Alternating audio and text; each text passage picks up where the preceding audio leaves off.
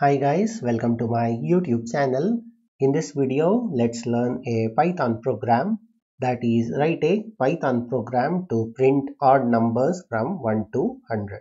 So given the range as 1 to 100, so you have to find the odd numbers that are present in this particular range that is 1 to 100 and you have to print all the odd numbers in this particular range. So that is a problem statement. So let's try to solve this. So I'll be using the while loop in order to use uh, or iterate from 1 to 100 and uh, before starting so let's take two variables start and the end so let's take two variables that is start equals to so let's initialize it to 1 and end equals to let's initialize it to 100 so we'll be using this start variable to iterate from 1 to 100 so before using the while loop so let's try to print uh, some user friendly message. Let's take a print function and here let's try to copy the same that is a message that is odd numbers from 1 to 100 are so let's say dot dot dot.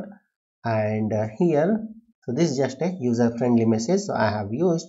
So now i'll use a while loop to iterate from 1 to 100 and try to check if the number is odd number.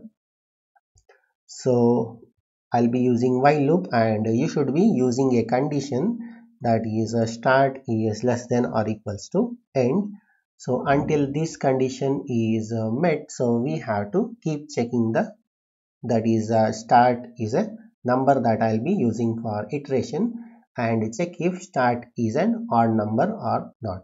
So let's use the if statement and uh, use the start variable and uh, modulate it with a 2 and uh, try to check if reminder is not equals to 0 or uh, remainder is equals to 1 so this is the definition of uh, odd number in the mathematical uh, expressions where uh, if you try to take a number and it is completely not divisible by 2 so then it is an odd number so if this statement is uh, true so then what you do is print the odd number. So let's use a print function and print the start.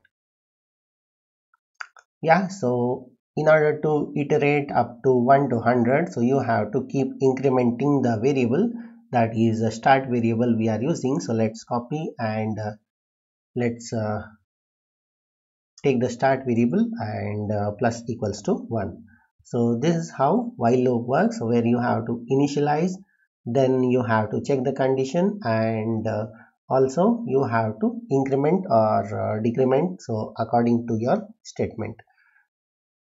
Yeah so this is a complete python program to find out the odd numbers within this range that is 1 to 100 and uh, print all the odd numbers from 1 to 100 so let me execute this and uh, let me show you how it works running the main program.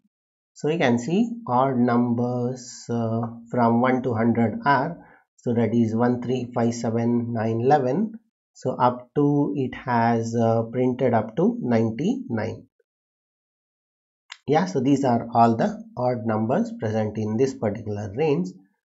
Let me close this. Let me run it again. It will be same so you can see the odd numbers from 1 to 100 are etc so these are the numbers. Yeah so this is a complete python program to print odd numbers from 1 to 100 so i'll give this code in the description of this video. So that's it in this video. Hope you liked it. Thank you for watching. Bye